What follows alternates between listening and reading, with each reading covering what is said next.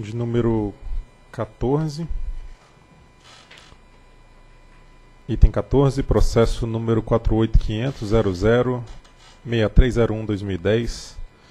Recurso administrativo interposto pelas Centrais Elétricas de Carazinho, Eletrocar, em face do certificado de descumprimento do termo de compromisso de ajuste de conduta, o TAC número 18 de 2010 decorrente de violação dos indicadores de continuidade de 2005 a 2009.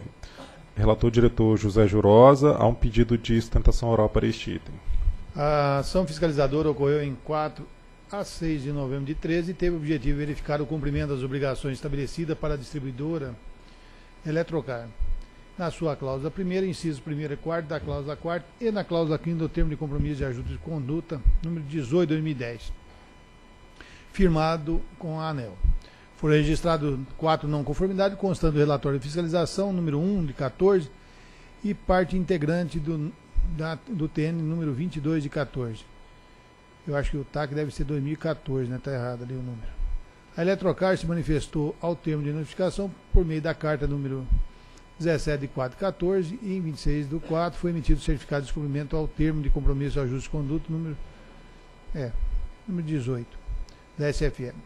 Em, em 6 de 14, a Eletrocar entrou com recurso administrativo com decisão da SFE, sendo que não foi analisado por essa área. Em 9 do 12 de 14, fui sorteado diretor e relator. E em 24 de março de 15, encaminhei ofício solicitando informações sobre o prazo de conclusão da obra do TAC. Em abril de 15, a Eletrocar é, encaminhou o ofício sem número enviando parte das informações solicitadas. Em 27 24 do 7 de 15, a Eletrocar, também está errado o nome aí, encaminhou outro ofício em complementação à correspondência anterior. Em 6 de agosto de 15, a Eletrocar encaminhou as ordens de investimento que foram contabilizadas no plano de contas que fazem parte das obras do TAC por solicitação de minha assessoria. É o relatório. A sustentação oral será feita pelo senhor Yuri Almeida Tise, representante das Centrais Elétricas de Carazinho.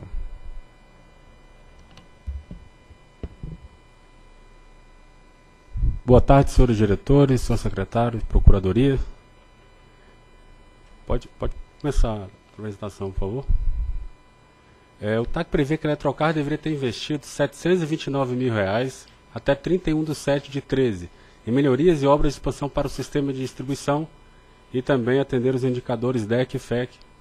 O descobrimento do TAC ensejará da forma como está sendo penalizada a Eletrocar no valor histórico de R$ 1 milhão 301 mil reais. A Eletrocar, senhores diretores, investiu 337 mil nas obras da subestação Carazinho 1 e Carazinho 2 e 329 mil na reforma da respectiva linha de transmissão, totalizando 666 mil, restando investir apenas, senhores diretores, até a data do TAC, 63 mil reais. Pode passar. Por essa razão foi pedido uma prorrogação do prazo do TAC. A Eletrocar é empresa pública estatal, estando submetida à imperiosidade de atender aos ditames da Lei 8666-93, ou seja, é fazer licitação para contratar as obras. A obra de reforma da LT 69 KV Mata Cobra entre SE Carolzinho 1 e Mata Cobra foi contratada em 18 de 9 de 13, na quarta licitação, senhores diretores, porque as três primeiras foram frustradas o que constitui excludente de responsabilidade, no valor total de R$ 1.558 mil, com o primeiro pagamento em 28 de 11 de 13, no importe de 67 mil, o que já, por sua vez, é, cumpriria totalmente o TAC. Passou um mês e meio entre a data final do TAC, 31 de 7 de 13, e a data da assinatura do contrato, após, como eu disse, a quarta licitação. Pode passar, por favor. Incluindo os investimentos deste contrato, a Eletrocar soma um investimento total de R$ 2 milhões mil, três vezes superior ao TAC. Isso ela, ela conseguiu um mês e meio até o final do prazo do TAC para os investimentos. Não houve culpa por parte da Eletrocar quanto às três licitações frustradas, na modalidade tomada de preço. Haja vista que trata-se de ato alheio à sua vontade, caracterizado como excludentes de responsabilidade. Obras realizadas no interior do Rio Grande do Sul dificultaram a licitação, em que apenas a Procel compareceu na segunda licitação, mas não aceitou receber o valor médio de mercado. Na terceira licitação, a Procel não compareceu, vindo a sagrar somente na quarta licitação em valor superior ao preço médio de mercado. Pode passar. A primeira licitação foi considerada deserta em 28 de 8 de 2012, tendo transcorrido desde a licitação efetivada em 6 de 9 de 2013 12 meses, que foram justamente os 12 meses de conclusão da obra que resultariam no investimento necessário ao cumprimento do TAC, dentro do prazo de vigência. E digo mais, em valor de três vezes ao que era exigido pelo TAC. A Eletrocarro buscou nas três primeiras licitações o preço médio de mercado, sem sucesso, tendo que promover a licitação na modalidade concorrência, com preço, como disse, superior no valor de um milhão e meio. Pode passar. O DEC de 2011 foi prejudicado pelo desligamento programado para substituir transformadores da SE Carazinho 1, com DEC de 10,97 horas, comunicado ANEL pelo ofício em 30 de 5 de 11, sem resposta por parte dessa agência, ou seja, não houve a contabilização de, desses fatos na penalidade. A C3AGT supridora da Eletrocar efetuou o desligamento programado na LT69 Santa Marta Carazinho para alterar a relação de transformadores de corrente modo LT para o dia 26 de 2 de 12, com DEC de 2,20 horas, o que também não foi contabilizado como excludente de responsabilidade aqui para eliminar a penalidade. Em 2013 ocorreram duas interrupções no suprimento de energia eletrocar. A primeira em 1 de 9 de 13, causado por avarias em equipamentos na ICA Santa Marta, de concessão da RGR. E a segunda em 9 de 12 de 13, devido à queda da estrutura da LS Santa Marta Carazinho, de concessão da C3E GT. As duas interrupções, alheias à vontade da Eletrocar, resultaram em um DEC de 12,61 12,61 horas para os dois cônjuges da Eletrocar e não foram contabilizadas é, e foram contabilizados, inclusive, na penalidade. Deveriam ter sido excluídas esse período. Apesar do táxi se encerrar em 31 do 7, foram utilizados os períodos acima referidos no cálculo DEC e FEC. Pode passar. Ao que pese a SFA alegar que a interrupção de fornecimento de energia não consta no modo 8 do PRODIST como excludente de responsabilidade, essa norma não é superior à lei e à jurisprudência dos tribunais. Foi comprovada a interrupção de fornecimento através de diversas reportagens testando eventos climáticos, como granizo, raio, ventos fortes e incêndio, que provocaram os desligamentos. Eventos da natureza são considerados excludentes de responsabilidade por caso fortuito. Disciplina o artigo 393 do Código Civil, senhores diretores, que caso o caso fortuito ou de força maior, verifica-se no fato necessário, cujos efeitos não era possível evitar ou impedir. E é o caso em questão. O parecer 98 dos milhões da Procuradoria reflete exatamente esse posicionamento de uma forma ampla. Pode passar. Nos pedidos, senhores diretores, nós pedimos aqui, com base nos princípios da razoabilidade, proporcionalidade, interesse público, finalidade, eficiência e serviço público adequado, que sejam canceladas a não conformidades N1, N2 e N3, especialmente pelo fato de que a recorrente investiu mais de três vezes o valor assumido no TAC após a assinatura do contrato, seja, um mês e meio após o período do TAC. Seja reconhecido também, senhores diretores, as excludentes de responsabilidade, fato de terceiro, nas licitações, para prorrogar o TAC e adicionar os investimentos adicionais de um milhão e meio. Isso, senhores diretores, conforme dito, foram 12 meses tentando buscar uma empresa que pudesse realizar as obras. Somente a Procel compareceu. E aí, somente na quarta chamada que ela aceitou o preço. Pode passar, senhores diretores sejam reconhecidas as excludentes de responsabilidade, caso fortuito, para recalcular os índices DEC e FEC. E, se for o caso, cancelar a penalidade. E aqui, aqui cumpre pontuar que, salvo engano, essa, essa diretoria já é, analisou essa questão do módulo 8 do PRODIST, justamente porque ali deveria constar que desligamentos, raio, granizo, chuva, incêndios, que causam interrupção no fornecimento de energia, são excludentes de responsabilidade. Isso aí está consta como norma geral de direito e deve ser é, submetido aqui por essa agência. Seja reconhecido a excludente de responsabilidade fato da administração para excluir o atraso do recebimento do relatório terceiro trimestre de 11, decorrente de ato da administração consubstanciado no atraso dos Correios na entrega do SEDEX. Ou seja, o Correio é empresa é, estatal e atrasou, né? então é fato da administração, não pode ser é, considerado né, como, como uma penalidade. Né? Você, a diretoria tem que olhar para essas questões, senhores diretores, porque são relevantes. A Eletrocar já teve um problema enorme que quase inviabilizou a sua concessão por conta de uma linha de transmissão que ela construiu e não foi. Os custos não foram é, inseridos é, na revisão tarifária ordinária. apesar de ter sido possível isso. Então nós entramos com revisão tarifária extraordinária e vossa, vossa, é, vossa diretoria, de maneira é, louvável, né, incluiu, então, julgou procedente a revisão tarifária extraordinária. Mas esse também é um caso que nós entendemos aí que é caracterizado como excludente de responsabilidade. Não houve culpa por parte da Eletrocar e entendemos que deve ser, é, deve ser acatado pela proporcionalidade e razoabilidade é, a exclusão dessas penalidades né, a, com a prorrogação do TAC e o recálculo do DEC e o FEC.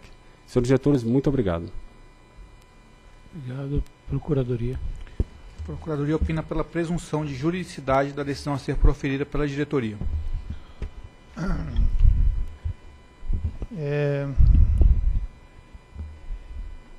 é importante dizer que o, que o pedido de consideração ele, ele preenche os pressupostos de admissibilidade. Então, a Eletrocar, na exposição de motivo, descreveu da seguinte forma as não conformidades NC1, NC2 e NC3 que foram mantidas é, as penalidades tendo em vista que a SFE não reconsiderou a decisão de aplicar penalidade, exceção da NC4.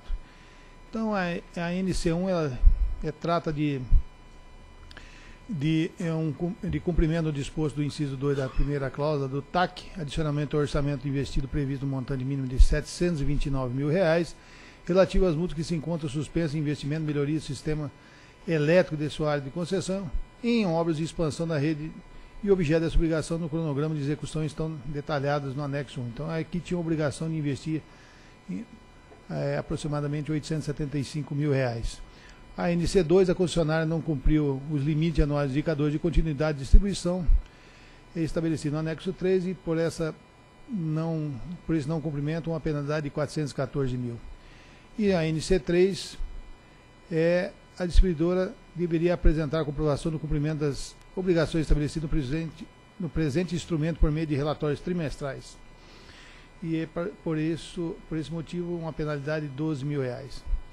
Passa agora a analisar a regularização das não conformidades. Em relação à não conformidade índice 1, a Eletrocar argumentou que teve problema na licitação da contratação da reforma da linha de distribuição 69, tendo apenas aqui. Então, é, retificando, ele disse que na quarta tentativa de contratação. Também solicitou inicialmente a retificação do valor total mobilizado com adição de 563 mil, correspondendo aos valores pagos após a vigência do TAC a contratado responsável pela obra de reforma da linha de transmissão.